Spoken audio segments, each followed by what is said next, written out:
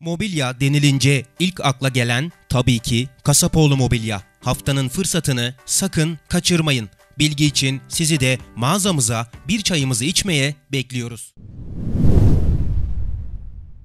Korkuteli'de bu yıl Kur'an-ı Kerim'i hıfzeden 31 hafız için tören düzenlendi. Törende hafızlara icazetleri verildi.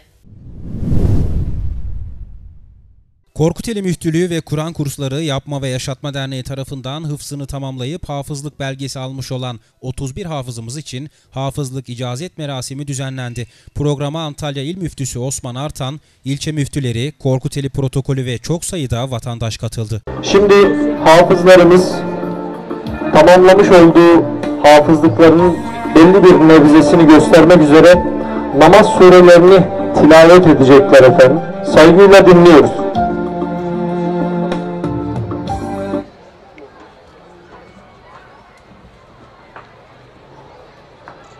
أعوذ بالله من الشيطان الرجيم. بسم الله الرحمن الرحيم. الشتاء والصيف. فليعبدوا رب هذا البيت.